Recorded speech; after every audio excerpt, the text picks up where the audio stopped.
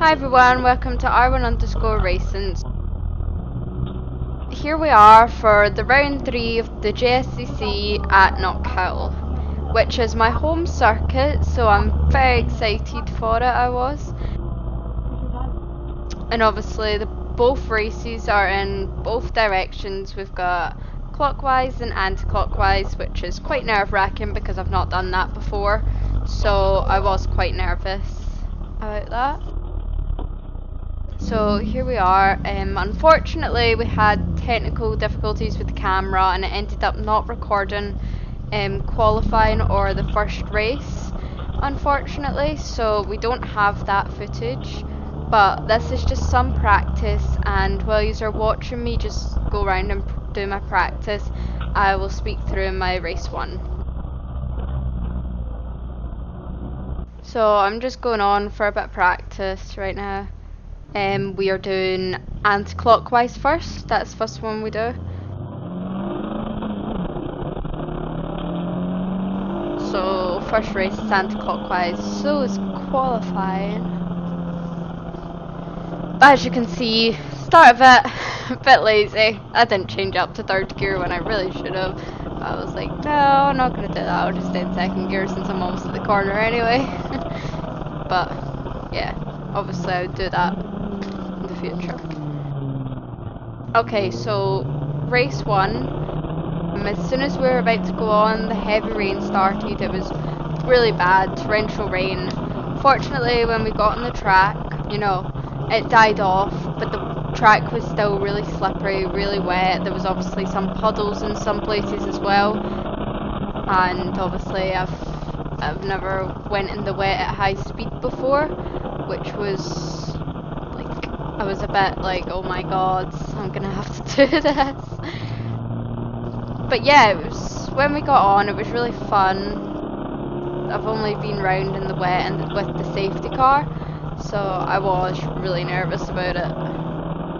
Unfortunately, the start, I got a really, really good start. I, I really powered off, and but unfortunately, Chloe Grant stalled, um, which caused a pile-up of some other cars, which I fortunately managed to get round practically no damage apart from the wing mirror, but that was it, um, which was really lucky, but unfortunately that meant that it wasn't the best start, and there was also like the I think it was a yellow flag and then that went to a red flag.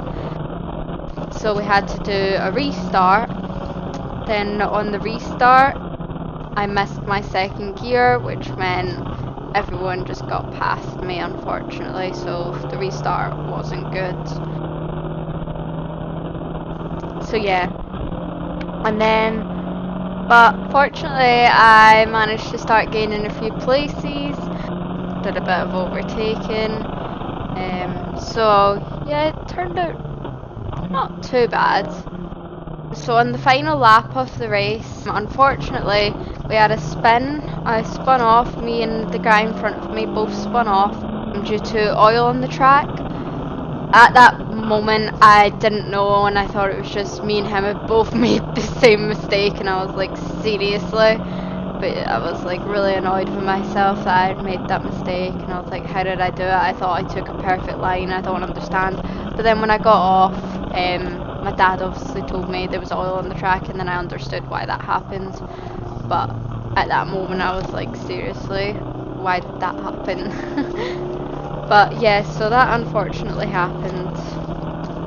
So back to practice still in practice right now.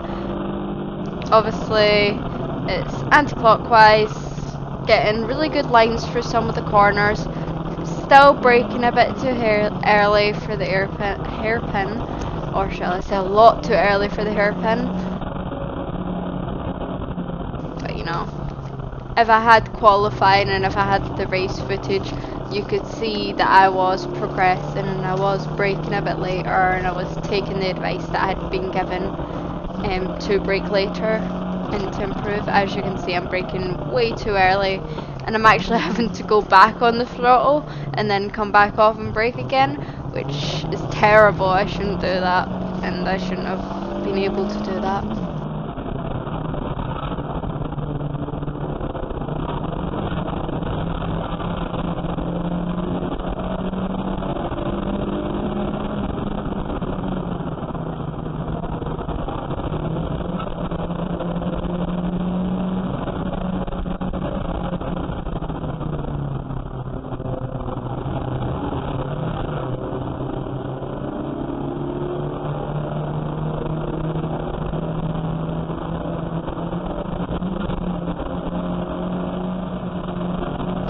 are just coming up near to the end of practice, which is good.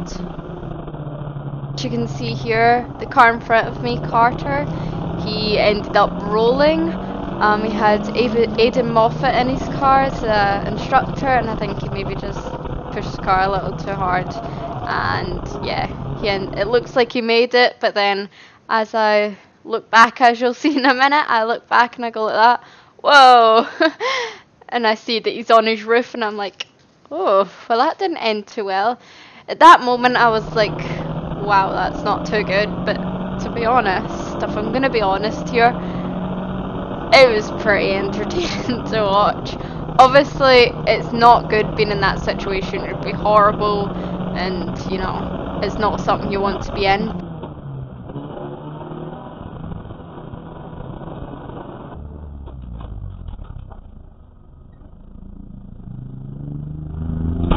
part of head rolled right in front of him.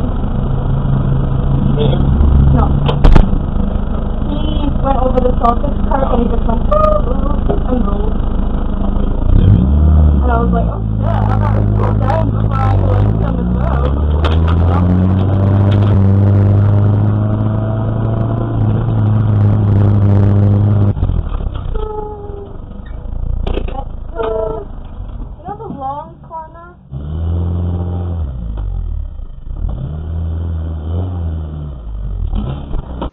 So that's the race results for the end of race one. I had my first ever DNF. Excuse the horrible mirror, makes you look like you've got a really long face. Oh, I didn't realise that. So I think here I'm just heading to do qualifying.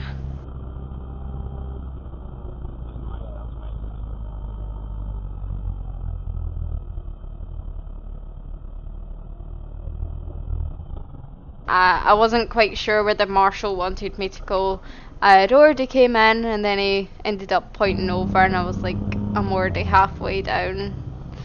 Um, so it was a bit confusing, but you know, it's all good, he was fine with it. Um, so here we are, going on for qualifying for race 2. It was pretty good. Again, my braking's still a little early, but it was better than doing the anti-clockwise. My braking was better there.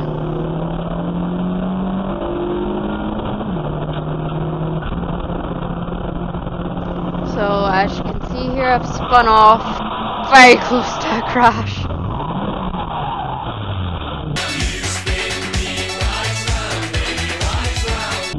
Quite incredible that no one crashed into me, I was so lucky. Stalled the car trying to get back off, which is really bad and I really need to fix that. I can't do that, because I was so lucky not getting into a crash there. Thankfully there was no damage to the car, off again. Back home for qualifying.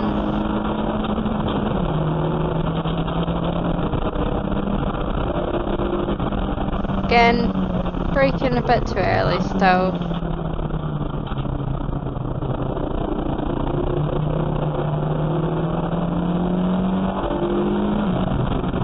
And there's Jamie Goody. He just rolled. So that's another car to add to the list that rolled in front of me. As you can see, I just slowed down a bit. I was like, I hope he doesn't come in front of me, so I wanted to slow down and just make sure like that I could get past alright. So I didn't know which direction he was gonna go. Again, it's quite entertaining to watch, but obviously I'd not want to be in that situation where I'm having a roll. Definitely not.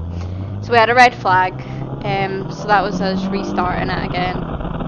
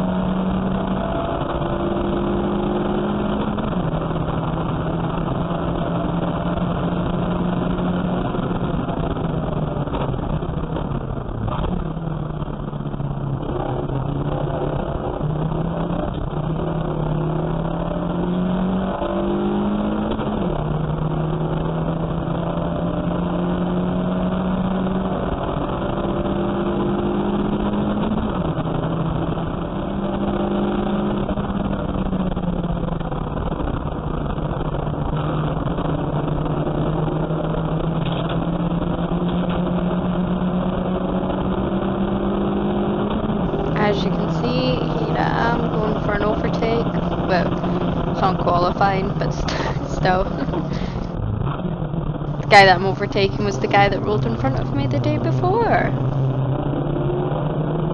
Now, I was a bit confused because I saw the indicator and I thought he was maybe going to pull over or something and let me pass or something. I was very confused. But, yeah.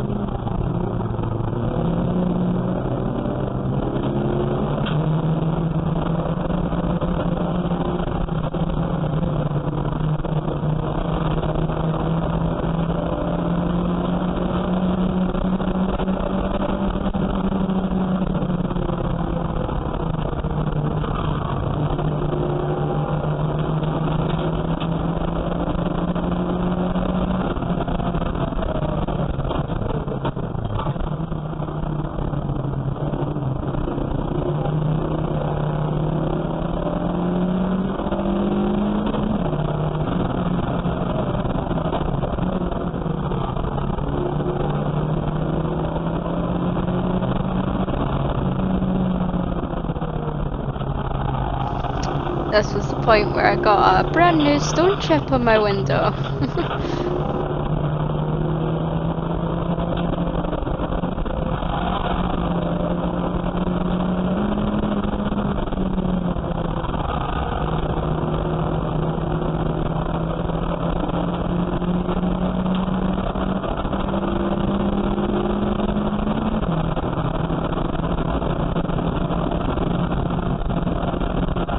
As you can see, I was braking a lot later for that corner, which was much better, but unfortunately, we were that was the end of it almost, end of qualifying almost. So, yeah.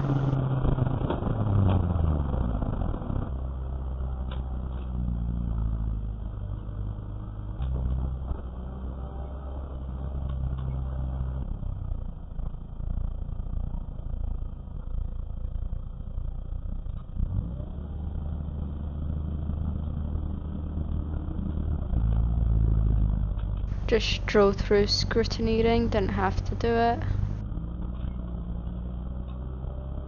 There's my dad over there, just giving me a thumbs up. And also there's my team principals that I forgot to mention on the radio, so I'll give him a mention here now. Just giving me a thumbs up as well he was.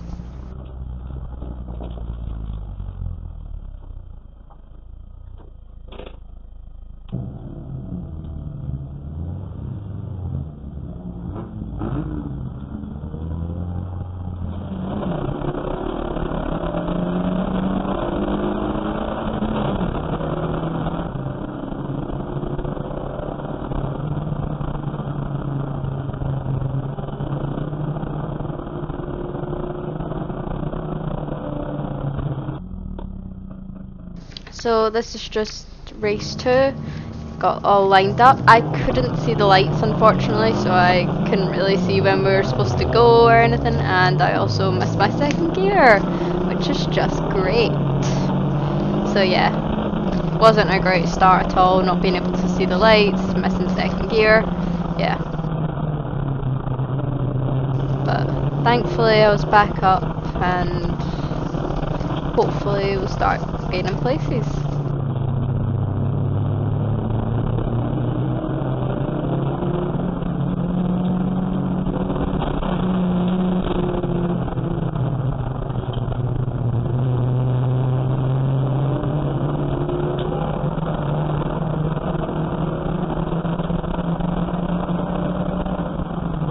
Probably should have stayed to the outside there, but it's all good.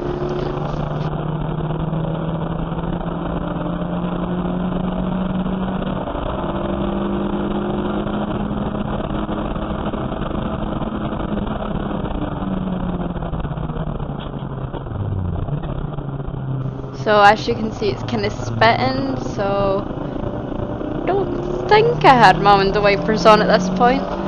Safety car already unfortunately. So yeah, it wasn't as bad as I thought it was in the rain.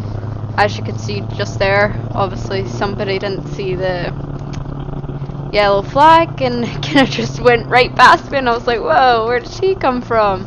But yeah, he realised and then he went back behind me. So we did a few laps behind the safety car, you know, it's not really that fun. it's a bit boring just going at like 60 miles per hour behind a safety car. But here we go, green flag. Um, I should have really been up right behind the car in front, but I wasn't, so that meant it took me quite a few laps to gain on them. Three laps.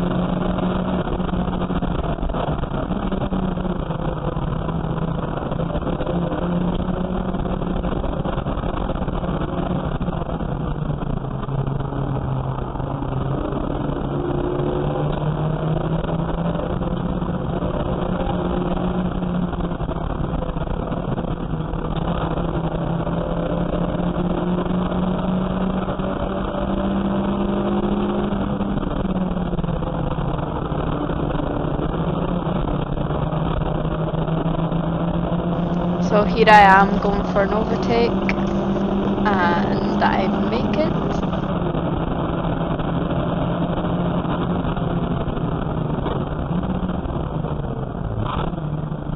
But obviously because I tried to go for that overtake, I made it, but because I went for that overtake meant I had a terrible line and that meant I was really slow at the corner as well.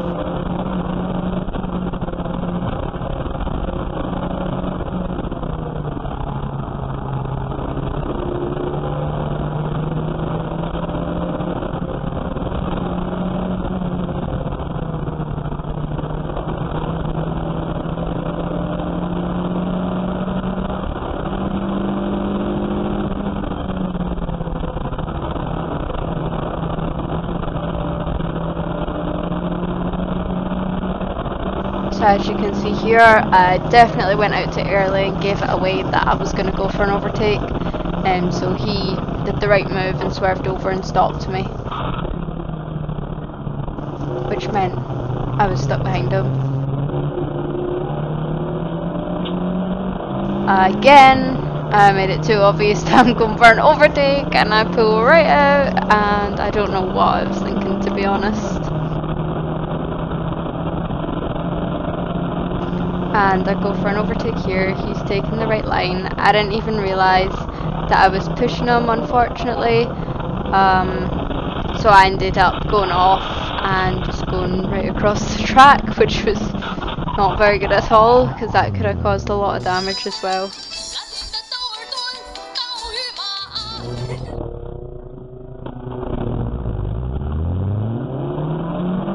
And here, it turns out I have broke my gearbox, so I was stuck in first gear. I thought there was something wrong with the car, so I pulled over. In reality, I really should have just kept going and stayed in first gear, but, you know. I thought there was something wrong, so I just pulled over. Here are the results, another DNF for me. So, overall, it was not the best of a home race.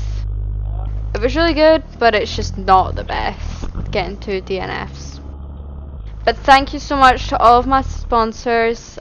Automek Performance Garage East Kilbride, RPM Garage Bearsden, JMB Information Governance, Hillington MOT Centre, Mobile Hygiene Services Canvas Cambuslang, Zero Seven Graphics, Clydebank, Tradeston Performance, The Gentleman Racer, Junction 1 Graphics, McGill Motorsports. And thank you so much to all of them. And also, I'd like to say a lovely thank you to Graham and his wife from RPM Garage for coming up and taking their time to come up and watch my race. And it was just amazing to have some of my sponsors there and them coming to support me. It's just incredible. I really appreciated it and I hope they enjoyed it. For anyone who didn't know, I was also on the Paisley Daily Record.